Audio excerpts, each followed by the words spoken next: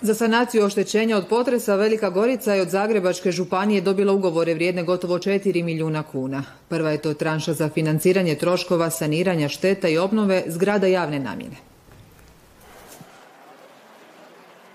Stara zgrada Velikogoričkog veleučilišta, osam zgrada osnovnih i područnih škola te šest dječjih vrtića. Potpisivanje današnjeg ugovora kažu početak je planirane sanacije gotovo svega što je u potresu oštećeno.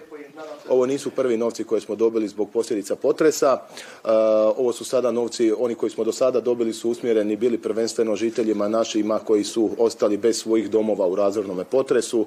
Ovo su sada javne namjene ustanove, dječje vrtići škole. Ali i najstarija građevina u Turopolju.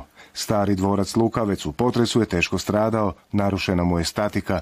Procjena troškova samo njegove sanacije je 2,7 milijuna kuna. Najveći problemi su zapravo sam toranj, kupola koja se pomaknula i koja zasigurno ne bi više izdržala još jedno slično podrahtavanje.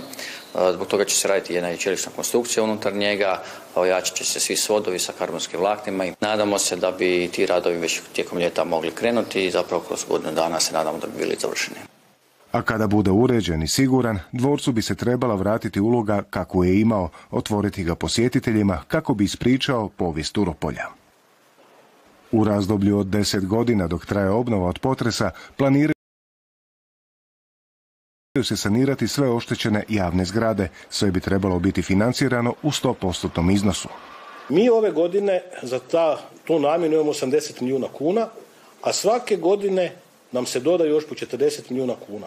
Toliko su u stvari decentralizirana sredstva koje Zagrebačka županija ima godišnje a novca će i tekako trebati. Već je u pripremi dokumentacija za obnovu još javnih zgrada, ali Velika Gorica očekuje i što skoriju obnovu doma zdravlja i hitne pomoći kako bi se velikogoričanima poboljšao standard zdravstvenih usluga.